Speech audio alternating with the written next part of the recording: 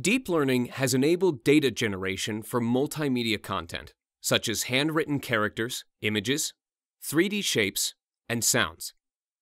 Recent generative models have a high dimensional internal representation called latent space to represent high quality data. Directly exploring in such a high dimensional space via user manipulation can be hard. We present differential subspace search to allow for efficient user exploration in such a space. Here, we exemplify our method for a generative model for images. The user iteratively explores the space through a 1D slider and may change the target over time. We view such an exploratory task as an optimization problem and provide the user effective 1D subspaces for search.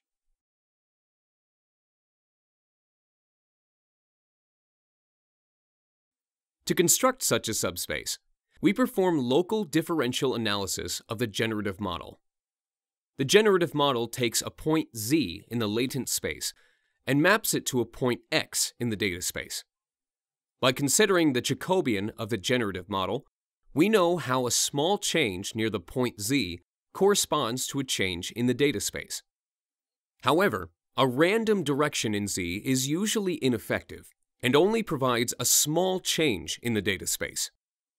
To find a direction that brings us a sufficient change in the data space, we first compute the singular value decomposition of the Jacobian, and then perform stochastic sampling according to the magnitude of the singular values to obtain the corresponding right singular vector as the search direction.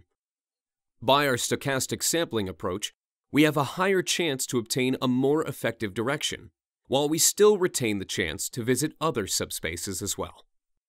Next, we show the exploration using our method for a generative model for handwritten characters.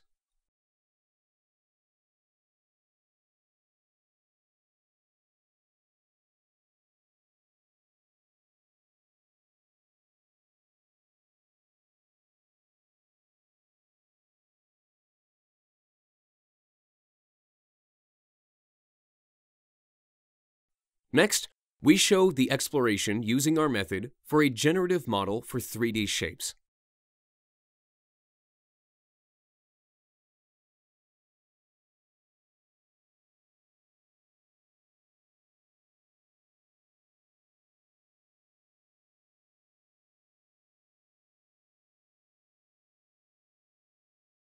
Next, we show the exploration using our method for a sound generative model.